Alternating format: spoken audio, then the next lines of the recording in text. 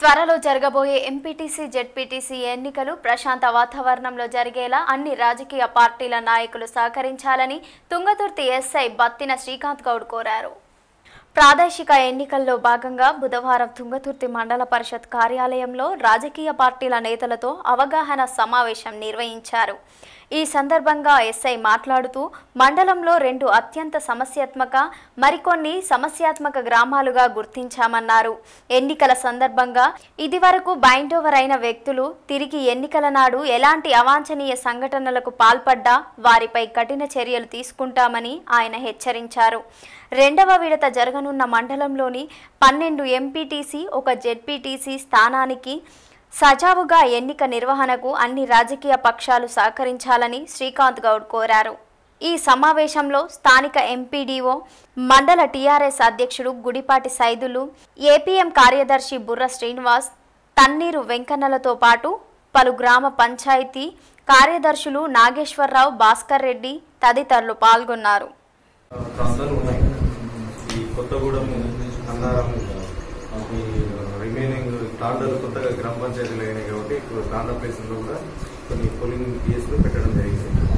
ఆ పిఎస్లో కూడా మీ political leaders కూడా మేము తెలియజేస్తారంటే మీ ద్వారా ఉన్నటువంటి మీ కార్యకర్తలైనా ఎవరినైనా కూడా అనవసరంగా ఏదైనా రెచ్చగొట్టే విధంగా వాళ్ళు చేయకూడదు ఏమైనా గొడవలు చేసినా కూడా వాళ్ళకు బైండ్ ఓవర్ చేయడం జరుగుతుంది. బైండ్ ఓవర్ వల్ల ప్రీ ఎప్పటికీ ఎలక్షన్స్ వచ్చినా కూడా వాళ్ళని బయట మళ్ళీ పిలిపించి బయట చేయడం జరుగుతుంది.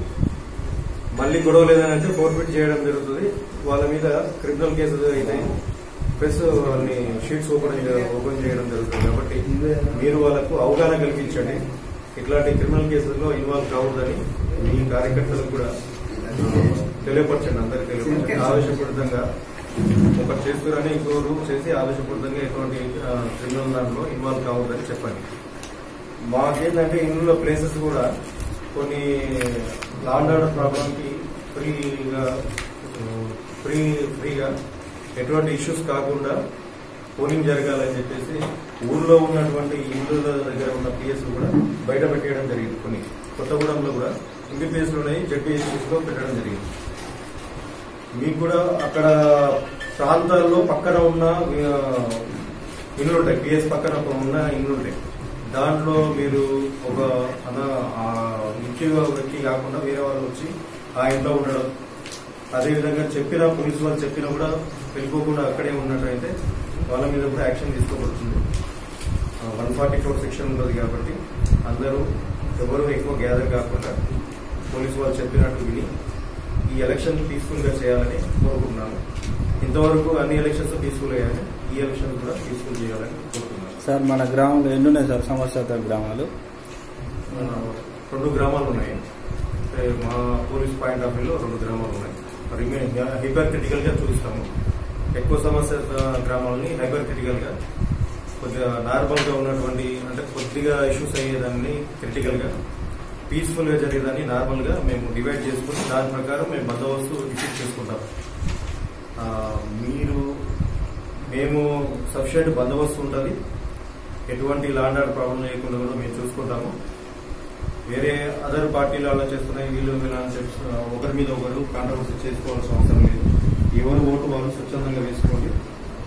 పోలింగ్ కంటే ముందు మీరు ఏదైనా ఉంటే మీరు ప్రచారం చేసుకోవచ్చు. Polling time at time date twenty four hours ముందు ఎటువంటి పోలింగ్ అంటే ప్రచారం చేసుకోవాల్సిన అవసరం అంటే ఆల్రెడీ చేశారు కాబట్టి ప్రచారం చేయడము పాంప్లెట్ పంచడం అట్లాంటివి చేయొద్దు. ఎటువంటి క్రిమినల్ దాంట్లో ఇన్వాల్వ్ ఉంది అది పొలిటికల్ లీడర్స్ మీరు మీ మీ వాళ్ళకు కూడా తెలియపరచండి అందరికీ.